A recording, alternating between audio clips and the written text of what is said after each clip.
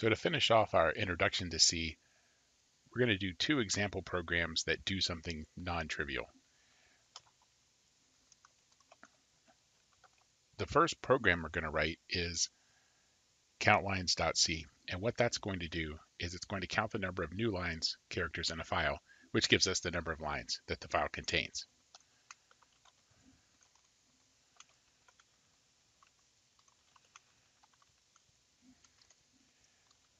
So the first variable we're going to declare is C. That's going to be our input character.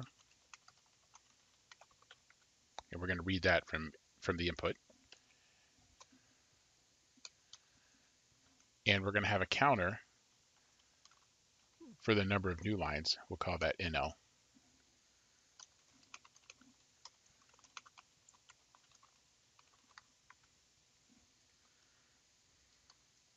So we're going to set up a while loop that's going to run, and we're going to read characters from the file until we get to the end of file character.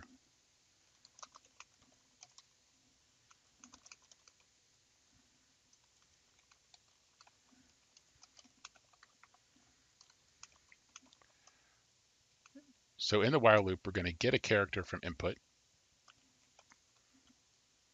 And that's what this does.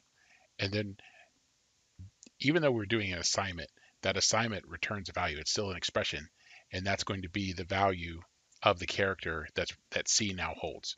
So C will hold that character, but that expression will also return that value, so we can go ahead and check it. We don't have to have a separate call then check. We can do it all in once.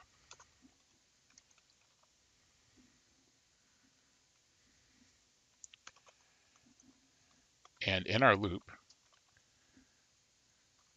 we're going to check to see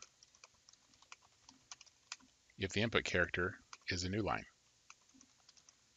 And if so, we're going to increment the counter. And we could put the actual ASCII value, but whenever you're comparing characters, just use the character literal. And that's still a single character literal, even though there's two characters in that inside the single quotes, since we have a backslash, that's the escape character. So that character literal stands for the new line character. And if they're equal, we increment. So now we're done with the while loop because we've gone through every character in the file.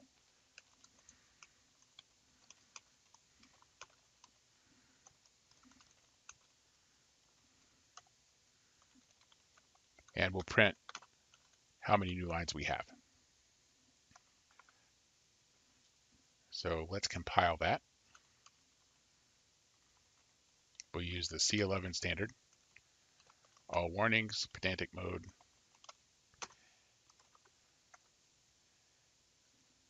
And we misspelled printf. I guess I should say that I misspelled printf. That's good. So now I have this executable. And if I run this, nothing happens, or it seems that nothing happens. But actually what's going on here is I didn't give it input, so it's assuming that it's going to read from standard input.